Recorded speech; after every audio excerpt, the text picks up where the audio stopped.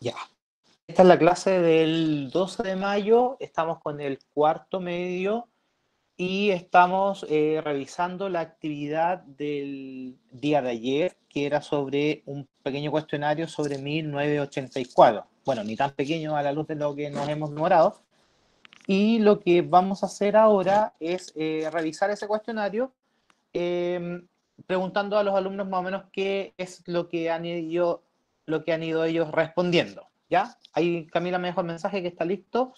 Y em, vamos con la pregunta 1. ¿Quién me puede leer su respuesta número 1? su respuesta a la pregunta número 1.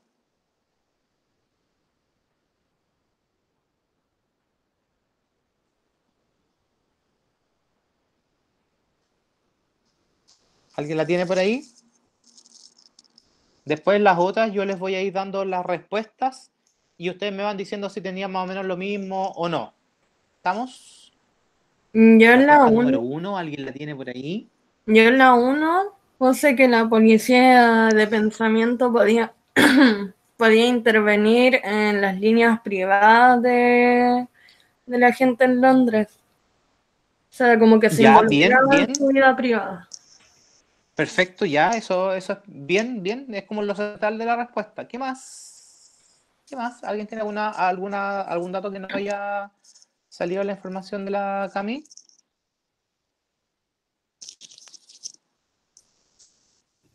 No, yo en general también hice lo mismo. Ya, ya. Acá en la, en la pauta yo tengo, se infiere que es un organismo del Estado que vigila lo que hacen y dicen los individuos castiga a quienes disienten de lo establecido por el régimen del gran hermano. La respuesta que aparece acá es un poco más amplia de lo que ustedes estaban poniendo. Lo que ustedes ponían era como un poquitito más específico. ¿Ya? Era como, como que dieron como un ejemplo más concreto. No es una respuesta mala en todo caso, solamente que es un poquito más eh, acotada en cuanto a lo que se estaba preguntando. ¿Ya? Voy a leer lo que yo tengo en la respuesta 2 y ustedes me dicen más o menos qué es lo que ustedes tenían y em, qué es lo que falta la respuesta mía o qué le podrían agregar, ¿ya? Dice aquí, respuesta 2, las personas estaban tan acostumbradas a la vigilancia de la telepantalla que medían y controlaban sus acciones de manera automática, sin pensar en ello. ¿Se parece en algo a lo que tienen ustedes redactado o no? o sea, yo le puse porque si bien antes era como un hábito, ahora se vuelve una, una como sobrevivencia, porque si tú no lo haces, te matan o te castigan. Lo más probable es que te, que te mataran. Perfecto. Y ahí está el concepto de lo instintivo. ¿Ya? Lo instintivo apunta a sin pensar en ello. Perfecto. Súper bien ahí. Después, en la 3, yo tengo, porque a pesar de que no era ilegal, si lo sorprendían, podían darle una pena de muerte o por lo menos 25 años de trabajos forzados. Eso tengo yo en la 3. Estoy revisando lo que era la... Yo puse algo parecido. Ya, a ver, cuéntame cómo está el suyo. Mm, yo puse que si escribía el libro o, el diario escondida, eh, podría tener, no era algo ilegal, pero sí era algo indebido. Entonces tenía que pagarlo de todas formas. Sí. Perfecto. Y eso explica por qué lo escribía escondida. Sí, y además de que, ¿cómo se llama esto? De que el INSOC o el gobierno, em, ellos como que aludían a, tener como, a, apagar la conciencia de las personas para que no se rebelaran contra ellos. Y aquí, esta es la parte que yo quería como hablar con usted. Y aquí uno entiende el peligro de lo escrito. ¿Ya? Para, para estos gobiernos absolutos, lo escrito es tremendamente peligroso porque tiene esta capacidad como de expansión en las conciencias de los otros. Mm, ¿Ya? Por eso que, por ejemplo, mm, podemos ver últimamente, porque a veces los rayados, hay tanta premura en borrarlos, por ejemplo. No, solamente porque sea ya un rayado lo público, sino que tiene el poder de lo escrito, ese poder del llamado a la reflexión, ¿ya? Reflexión del que se ingenió para escribirlo, pero también de aquel que lo lea y de pronto le pueda eh, generar algo en sí mismo, eh, algún cuestionamiento, alguna cosa así al orden establecido.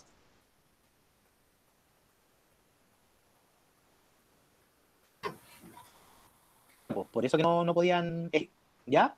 Y perfecto, lo que dicen ustedes súper bien, no era algo ilegal, ¿ya? Y, y es muy raro, y entonces ¿por qué le podrían dar pena de muerte? ¿Qué les pareció ese, ese detalle?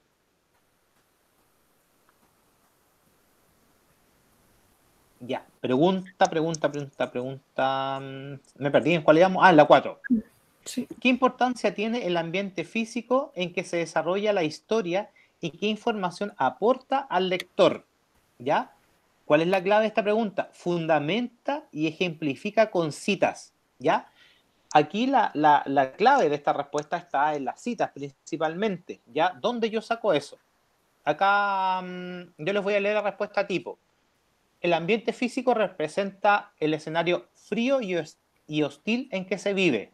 ¿ya? De alguna manera está vinculado con, con el ambiente psicológico. Por ejemplo, las ráfagas de viento que se mencionan podrían simbolizar el control de la autoridad que se cuela e invade la vida de todas las personas.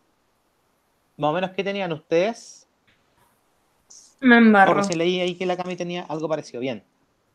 Esa era la anterior, ¿cierto?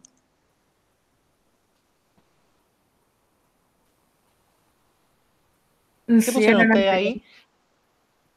Pudieron establecer una relación entre que el ambiente era frío, cierto, inhóspito, y la sociedad también era como fría e inhóspita. Mm, Sí. O sea, algo piola. Ya, per- Logré Pero eso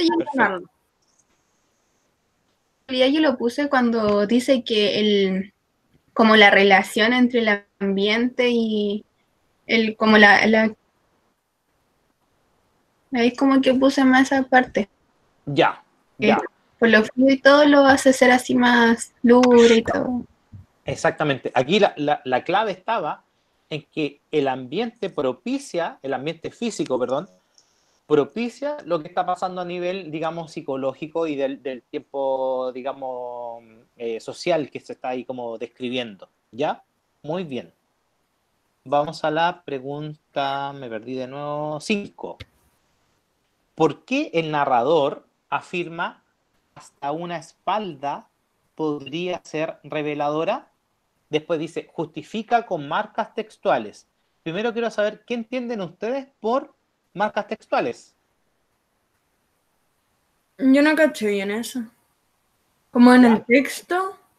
Exactamente. Marcas textuales se refiere como a fragmentitos del texto. Mm, ¿Ya? Esas son las marcas textuales. A veces una, una palabra, dos palabras pueden ser la marca textual. Entonces, eso es importante cuando usted le pidan, por ejemplo, respalde con marcas textuales, son fragmentitos del texto, indicadores del texto. Puede ser una cita, pero también puede ser, usted puede decir así como cuando afirma tal cosa. ¿Ya? ¿Qué respondieron ahí? ¿Qué pusieron ustedes?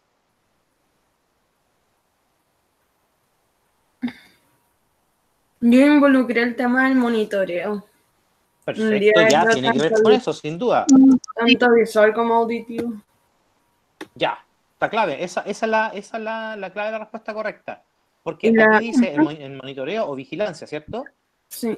Y la nula libertad de expresión. Perfecto. Mire, mire cómo está acá puesto. Se infiere de dicha afirmación que la vigilancia es tan estricta que ni siquiera dando la espalda a la telepantalla se podía estar a salvo de ella. Ah, bueno. Aquí está como perfectamente redactado. Pero, ¿cuál es la idea? Si usted puso que la, la mm, ¿cuál es la palabra que habían puesto? La, mm, no habían puesto vigilancia, la, ¿qué, qué me, recién me dijeron? Monitoreo. El monitoreo. Monitoreo El, la- el monitoreo es tal que como uno se ponga, como uno, aunque uno dé la espalda, ¿cierto? No hay como escapar de él. ¿Ya? Mm, Pregunta, pregunta, pregunta, pregunta 6. Analiza las tres consignas del partido, ¿ya? Que aparecen en la fachada del Ministerio de la Verdad. ¿Qué función cumplen en el mundo narrado? Aquí hay una cosa súper interesante, que eh, justamente estas consignas están en el Ministerio de la Verdad, ¿ya? Que, ah, que es súper, eh, digamos, como que cumple una función contraria a lo que, a lo que se Al supone que es el Ministerio de... de la verdad, exactamente. ¿Ya? Entonces, que- primero, ¿se, se acuerda cuáles eran estas consignas? ¿Las anotaron ahí? Guerra es paz. eh, ¿Cómo se llama el otro? El. Libertad es. eh, ¿cómo Ah, sí. está? Esclavitud. Libertad Ya. de esclavitud, ignorancia, fuerza. Perfecto. Fuerza es ignorancia. Sí, ahí están. Guerra es paz, libertad es, es esclavitud, ignorancia es fuerza. Nosotros sabemos que aquí hay un juego de palabras diciendo exactamente lo contrario, ¿cierto? Sí. Eh, entonces, aquí está la, la- la esencia de lo, que, mm, de lo que tiene que ver con esta ideología, ¿ya? En la que vive este personaje que se llamaba Winston, ¿ya? Em, ya, pues, a ver, ¿qué, qué pusieron ustedes ahí? Yo ahí puse que su función era persuadir a la población. Perfecto, perfecto. Entendiendo persuadir como, como convencerlos de algo, ¿cierto? Sí, porque además de que al, ¿cómo se llama esto? Al recargar como esa parte de ignorancia es fuerza, o fuerza, de fuerza es ignorancia, cosas así, es porque Sí. la gente no sabía lo que hacía, o sea, le decían algo y ellos lo veían como verdad, como que es real, que no, no es, no es incorrecto, y así controlar a la gente por medio del lenguaje. Perfecto, perfecto, perfecto. Dice, eh, les leo acá más o menos lo que está en la respuesta tipo. Sirven para dar a conocer las características de la ideología que domina la sociedad en que vive Winston. En esta sociedad se valora la guerra y la ignorancia, ¿ya? Por eso que son como elementos importantes. Y se menosprecia la libertad. Las consignas muestran la manipulación que hace el partido, pues son valores tergiversados. Lo mismo que habíamos dicho nosotros, que era como lo contrario Como un antónimo. Como un antónimo, perfecto, lo- totalmente lo contrario. Es como que dijéramos que hoy en día el Ministerio de Salud en el fondo se preocupa de enfermar a la gente. ¿ya? No, no sé si, si, si quedará tan perfecto, pero eh, por ahí va la idea. ¿Ya? Eh, esto- estos libros, bueno, como vimos en el video, tienen tremenda actualidad. Ya lo van a ver después en el, en el textito que tenemos que leer. Eh, en un artículo informativo que, un artículo periodístico que está planificado para hoy. Em, se supone que estos libros tienen una, una actualidad porque nos hacen reflexionar sobre lo que está pasando hoy en día. Este libro se propone como una utopía, ¿cierto? O una distopía, mejor dicho.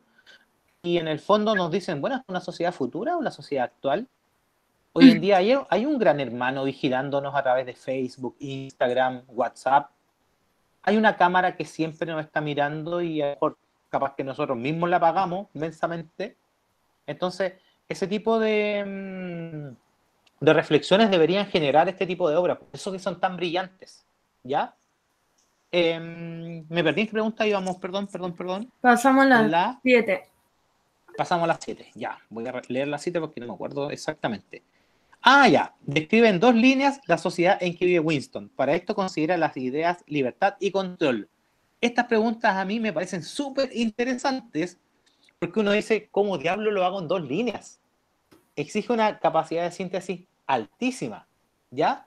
Y más encima me pide que ponga dos conceptos que por sí son súper amplios. A ver si lo lograron ustedes, a ver más o menos qué pusieron. ¿Era necesario estar en dos líneas? No, pues no, para, Ay. para- para- en este caso no. Pero cuando una pregunta me pide dos líneas, en el fondo me está pidiendo, o sea, haga una gran síntesis, ¿ya? ¿Qué pusieron ustedes? A ver. A ver, ¿quién, quién empieza? Cualquiera, cualquiera. Ya. Yo, a ver, ay, se me cerró esto. Ahí está. Yo puse que era una sociedad donde se gobierna como si fueran marionetas por un gobierno totalitario, cuyo objetivo es controlarte de manera psicológica, pero también física en ocasiones, donde las libertades y los derechos se ven vulnerados. ¡Wow! Wow. Oh my Oye, God. Javiera, y sea sincera, ¿eso está en dos líneas? Sí. ¡Qué Dos líneas, dos líneas de chica! computador. Es que yo la admiro. Muy bien. muy Yo la admiro, ¿Qué. Me encanta. No, mi- respuesta queda chica al lado de esa, profe, no la voy a decir. no hay respuesta chica ni grande acá. Vamos nomás, tranquilos. No, no importa, no, sí. Estoy bien así, profe. Dale. Ya, bueno, bueno. No se preocupe, no se preocupe. Eh, les leo más o menos lo que, la respuesta tipo. Dice, en una sociedad en la que no hay libertades individuales, ahí ya está escribiendo, es una, es una sociedad en la que no hay libertades individuales. Esa es la clave, que es lo que dijo la, la Javi que lo puso con, el concepto, con la metáfora de las marionetas. Muy bien. Pues se vigilan y controlan las acciones de los individuos y los castigos son extremos, como la pena de muerte. ¿Ya? Ahí también hay una, mm, hay una, una respuesta posible, ¿ya? No es necesario que tengan exactamente lo mismo, ojo, acá lo que importa son las ideas generales, ¿ya? Después vamos a la 8, dice, relaciona el espacio del mundo narrado con el estado de ánimo del personaje, ¿ya? ¿Cómo se vinculan? Fundamenta con marcas textuales. Nuevamente aquí aparece algo clave, que son las marcas textuales. Em, ¿Cómo es el estado de ánimo de este personaje? ¿Qué pusieron ustedes? La verdad decía marcas textuales. Pero sí, posecita. ¿Pero qué pusieron? A ver. Hay una cita que puse mm, que dice esto, pensó con una vaga sensación de disgusto, esto es Londres. Punto suspensivo. Perfecto, miraba y le, y le generaba disgusto ver esa gente. Bien, me gusta. ¿Qué más? ¿Cómo estaba este personaje pe- permanentemente? Es como estaba con un sentimiento de letargo todo el rato. Perfecto. Letargo. Perfecto. Letargo está como adormecido, como que uno no siente, como que está Ah. como... mm, También tiene que ver con el, con el estado de ánimo bajo, así como decaído. Mm. Como que esa es la idea, letargo es una palabra muy precisa por lo demás para lo que están describiendo acá. Ahora, ¿qué es lo importante? Que esta se, se relaciona con la pregunta 4, ¿cierto? Que habla del ambiente físico. Sí. Y acá uno tiene que buscar dónde se nota que esta persona estaba afectada por este ambiente controlado, frío, etcétera. Claramente él está permanentemente aletargado, como dijo la Javier, adormecido, no, no, no está conectado con sus sentimientos, pero además aquí hay un dato que no, no, en este fragmento no sale, él está permanentemente atormentado por un sueño que tiene y no puede descansar bien, un sueño que tiene con su mamá y su hermana, un sueño muy, pucha, no estaba viendo hoy día que él, que él tenía el libro leído, pero tiene que ver con, con que él ni siquiera descansa bien, ¿ya? Así que súper bien. Vamos a revisar la 9, que es la última de las más larguitas. Y dice, mm, ya, George Orwell, eh, así no se llamaba, ¿cierto? Eh, dice, escritor y periodista británico involucrado en la lucha contra los poderes políticos totalitarios durante y después de la Segunda Guerra Mundial. Este interés se refleja en sus obras donde denuncia y critica el control y la restricción de libertades que sufren los individuos.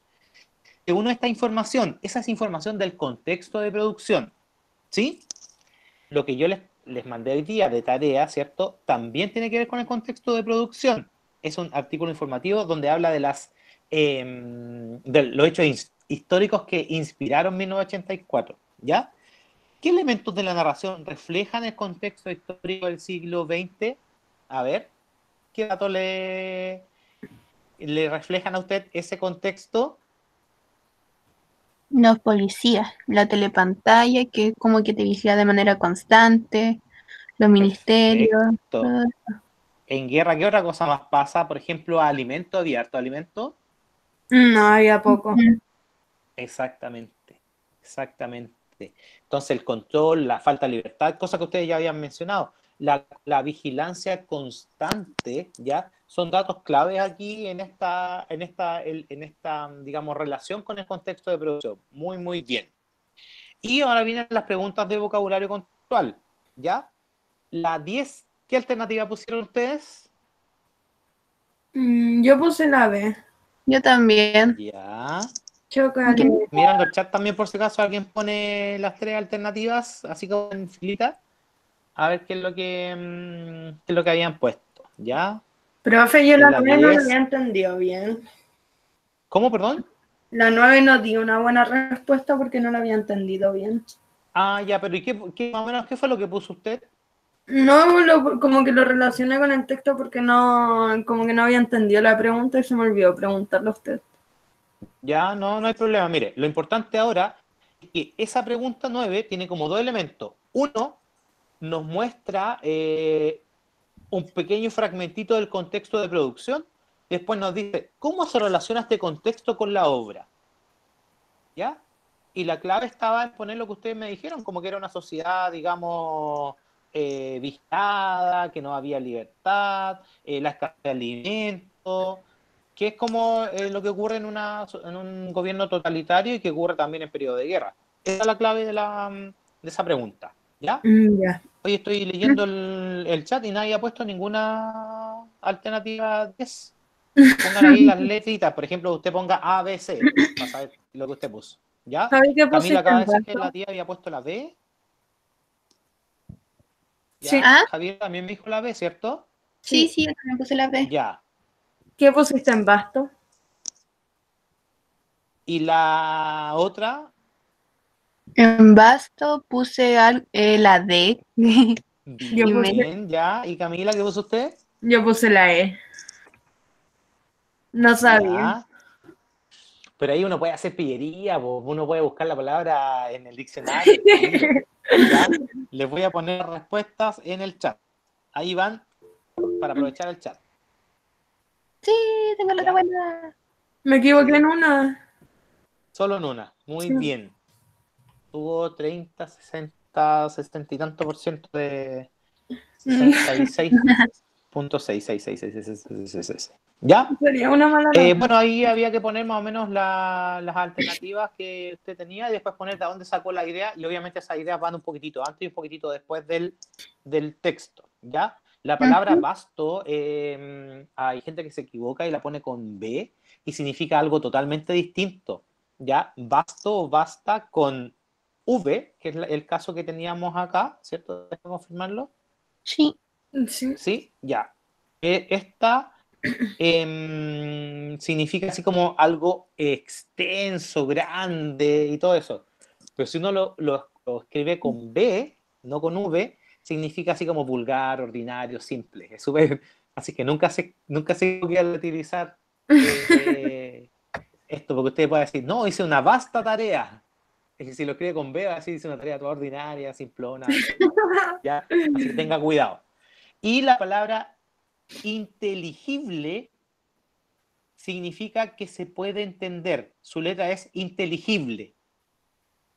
Por ejemplo, ¿ya? Por lo tanto, lo contrario, ininteligible, es que no se entiende nada. Por lo tanto, ahí nos quedaban incomprensibles. ¿Ya? ¿Estamos? ¿Estamos? ¿Estamos? ¿Dudas, consultas, preguntas? ¿Dudas? Eh, Sofía puso sí. No sé si tiene una consulta. Ah, ya. sí, no. Bien, gracias Sofía por enredarme. Y esto es la grabación más encima. ¿Ya? Eh, ya, chiquillos. Revisen en estos minutitos que quedan. Son las eh, 9.26. Ustedes se van un cuarto para las 10. En este ratito, revise el- la tarea de hoy, el ejercicio de hoy, y eh, me va planteando dudas. ¿Ya? No es obligación enviarla hoy día porque nos atrasamos en la corrección y la próxima clase eh, me lo pueden mandar o cuando quieran en realidad, eh, pero lo importante es que la próxima clase hacemos la reflexión general. ¿Ya? Lean el texto porque es muy interesante y probablemente al leerlo le den ganas de leer el libro completo, que es un librón. Ayer, pregúntenle al David nomás, fue que ayer les contamos el final. ¿O no, con el David? No, creo que no. Ah, No, ya. Ay, Perdón. Ay, sí, sí, profe, sí lo contó. es bacán. O ya, sea, es un gran libro, es un gran libro. Yo, de- yo cuando leí ese libro, yo me hice fanático como de las distopías y por eso que me gusta el Margaret Atwood, el cuento de la criada. Oh, es un librón, un librón de distopías, así, pero muy, muy bueno. Me han dicho que se relaciona también con estos de que son como libros juveniles que se llaman así como. Oh, se me fue el nombre. Ese que es sin sajo, ¿cómo se llama el libro general? ¿Juegos del hambre? Los Juegos del Hambre. Me han dicho que se relaciona a que Juegos del Hambre también es una buena distopía, pero no me he hecho el ánimo todavía de leerlo. Profe, que- bueno. Yo Sí, tengo son los buenos. Ya, Sí, acepto, acepto la recomendación. Termino de leer mi Harry Potter en inglés, que me, me- me han dejado en jaque mate. A medida, les conté que a medida que los libros van avanzando, el vocab- los niños crecen y el vocabulario igual se pone un poquito más complejo, entonces como que me ha costado Sí, leer. Pero apenas termine eso, aceptaré su recomendación. Entonces, en concreto, hoy día eh, vaya al Classroom, eh, saque la tarea de hoy, revísela, lea el texto, le- avíseme si estaba funcionando el link que pongo ahí, porque la otra vez puse unos malos que no me funcionaban, y no, no tan malos como los que pusieron en quinto básico, los links que iban a, a páginas para mayores. Eh, los míos no funcionaban nomás, no iban a otras páginas. ¿Supieron esa noticia? Sí, no. En, en- en los planes o en, la- en- en las tareas que le subió el ministerio como a quinto básico, uno de los links iba para una página para mayores. Y se al.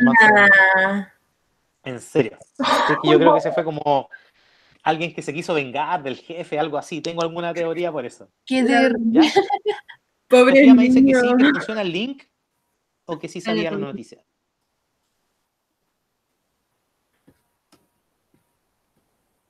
Ya, estamos entonces, están revisando el documento Sí, y yo ahora voy a terminar la grabación para que esto le quede a la gente que hoy no se quiso levantar temprano y venir a esta brillante clase de lenguaje. hoy día un día humanista, profe.